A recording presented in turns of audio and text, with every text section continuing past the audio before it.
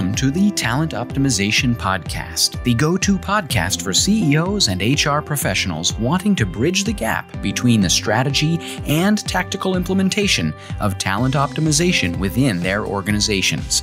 Through interviews, predictive index, and personal experience, your host, Tracy Shirk helps you discover the facets of talent optimization from both a CEO and HR perspective to truly create the dream team for your organization. Are you ready? Let's get started. Do no harm. This is the instruction that is given to business folks that are interviewing high school students inside of a mock interview program. And I start this podcast off today with this, you know, really simple instruction. And to me, it's very surprising. When we do interviews, are we doing harm to the other person that we are talking with? So, welcome to the Talent Optimization Podcast. My name is Tracy Shirk, and I'm the Chief Talent Officer here at Elevated Talent Consulting. And today we are talking about conducting the interview and what this actually looks like. And if you've been following us along on this hire series of really going through what does it look like to set up the interview, to do a job assessment, to do a job description, to do a job ad, to do all the things to get this perfect candidate in front of you, which we identified on the podcast last week. Now we're actually doing the interview. Here's the deal when we're conducting interviews, we are having a two way conversation with another human. And so often do we forget that we're talking with humans? And isn't it interesting that the note to business folks to interview inside of a high school mock interview program is do no harm, right? And here's what I think is so interesting about this when we conduct interviews is we are telling that individual the culture of our organization by how we treat them, how we talk to them, how we interact with them, how long we make them wait, how we do all of those things. And so often I hear, but I'm just too busy, Tracy. We just we we we can't. Interviews are just not necessarily as important because we're too busy. Well, my question is do you have the people inside your organization that are doing the jobs that you need so that you're not so busy? Most often that answer is no. So we've got a too busy is perpetuating too busy, which is perpetuating a negative work environment. Just want you to think about that for a second before you conduct your next interview. So, with that, I promise we're not going to be all doom and gloom. We're not going to do harm on our podcast today by being, you know, here's all the negative things to do. We're going to shift it. So, conducting the interview, what are some of those key things that that we want to cover and really dig into and look at. So when we conduct the interview, there are a couple key jobs that you as an interviewer have. And the first job is to know what your job is. As we've talked about up until this point on the podcast, when we bring a candidate in, we're looking at the whole candidate, right? Like we are taking a holistic approach, meaning we're looking at what are their natural behavioral styles as aligned to what the job needs. We're looking at what are their personal values as aligned to the organizational values. And we're looking at what are the skill sets that this individual has as aligned to what the job's very, very specifically needs. So, those are the key items that we are looking at when we are interviewing for an individual to come into the role. So, what is your job as an interviewer? Well, it depends, right? If you are, let's say, an amazing rock star on the role, maybe your job is to look at the skill sets. If you are the manager, maybe you're looking at both the skill set and the behavioral um, styles of the individual to ensure that they are a fit. Of course, you've already looked at that beforehand with your with your assessments, such as the um, predictive index um, and using that piece as you're planning those things out. So, you know, your job may be to interview for a cultural fit inside the organization. Your job may be to interview for a fit on the team that they will be joining to ensure that they are the individual that really can fill the gap in that you need so that you can execute at an incredibly high level inside of your organization. So these are all key items that we're specifically looking at as we're doing that interview. And so as we're conducting the interview, again, remember this is a two way conversation, and we want to ensure that this potential employee is you know asking questions that they're interviewing you as much as you're interviewing them. How do you do that? You make them comfortable. You provide them the space to step into who they really are right? Here's the deal. The interview is when we are on our best behavior we want to make them comfortable enough to show us who they are in that interview versus you know being 100% on that best behavior because we want to know what we're going to get going forward um, the other thing that we really want to make sure of as we're conducting the interview is that we are not asking any questions that give us information about a protected class or that are illegal questions to ask based on the employment laws that are out there. Something to note is once you hear something, you can't unhear it, right? So the training that we do beforehand and those mock interviews, both mock interviews for our new interviewers, and again, like the, you know, the high school that I just came from before recording this podcast, you know, we're giving individuals an opportunity to try something out in a test environment before they do it in a real life scenario. So we do want to ensure that we are equipping our managers and our leaders to interview before they actually interview a candidate. Um, and so when we're conducting the interview, we want to make those candidates at ease. We want to provide them the space so that they can step into who they really are. And when we're conducting the interview, we should have very specific interview questions that we're asking. So we're somewhat following a script within this. But within that script, it's loose enough so that we can ask those follow up questions, right? So let's say we ask a question that says, you know, hey, tell me about what you believe your career trajectory is in the next five years. And it's something completely different than the position they're hiring for we can follow up and say, so help me understand how does the career trajectory of where you want to go align with this position? And how do you see this position aligning with that career goal that you have? Because um, that's going to give you some additional information or insight. Another interview question may be tell me about a time when you supported uh, you know a client of going all the way through the process with great communication and what you want to hear within that question is you're specifically looking for their communication, you're looking for their ability to pay attention to detail and to hit deadlines, but you're also looking for what actions they took versus what actions another person on the team took. So, with that being said, what you're listening for and, and the follow up questions that you ask will help you to get closer to what you're listening for if you haven't yet heard it. Um, so it's going to show you, yep, they they do meet this objective that we're looking for that is an essential duty of the job, or they don't, right? And either one of those are okay at this stage because the goal is that we're hiring the right fit to the role, that we're hiring an individual that is um, aligned with what the team needs in order to execute the strategy, that their personal values are aligned with what those business values are. And so when we're conducting the interview, we're noting where things are at. So we're typically creating a, we've got a scorecard that was created ahead of time that's aligning us into, hey, is this person a great fit for the role? This needs to be calibrated ahead of time. So um, if you are listening for their communication, do I have the same understanding of what great communication is as the other individuals on the on the interview team?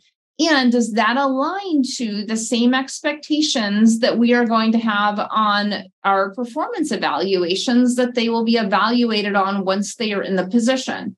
So you notice we're tying a number of different dots together. And this is exactly what we do inside of our hire program when we talk about each of these objectives and our Inspire program when we align what we're doing in the hire process into what we do to inspire our people to perform.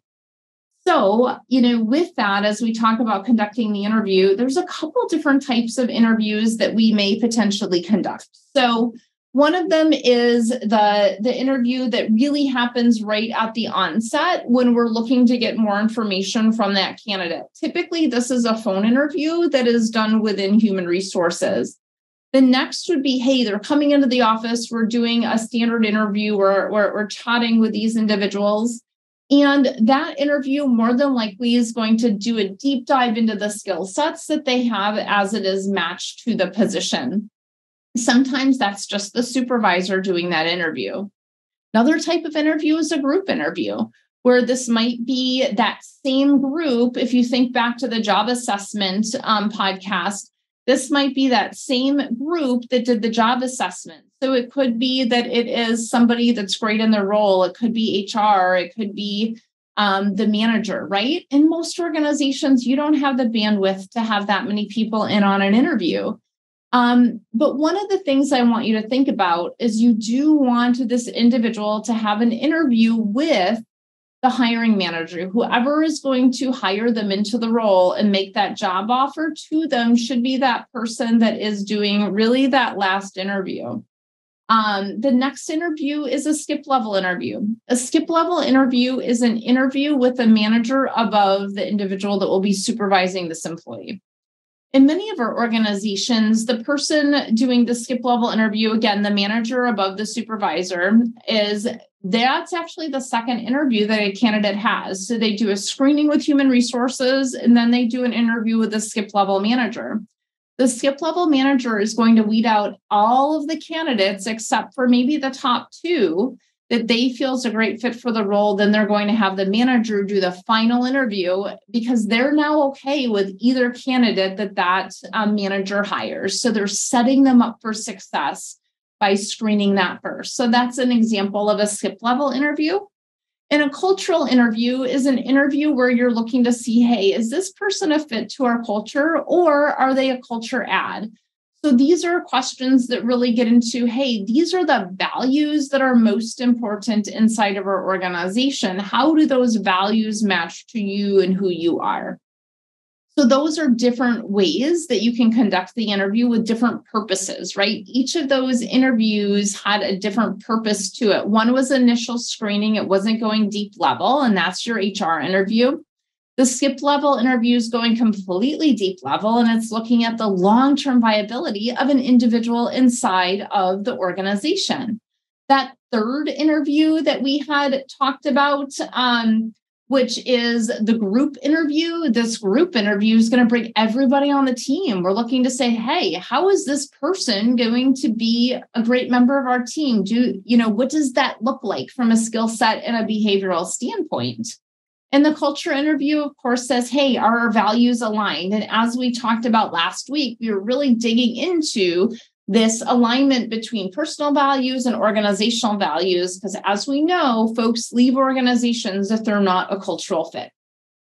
So, as we're conducting the interview, one of the things that we see happen so often that's such a huge negative impact is the interview team or the interviewer will make promises that they cannot keep. Please do not do this. Do not make a promise that you cannot keep. Okay. So, you know, this is also where some preparation comes into play. And sometimes uh, ending an interview is scripted to essentially say, hey, you know, we we're interviewing X number of candidates. We're going to get back to you by X and we're going to have a decision by Y, right?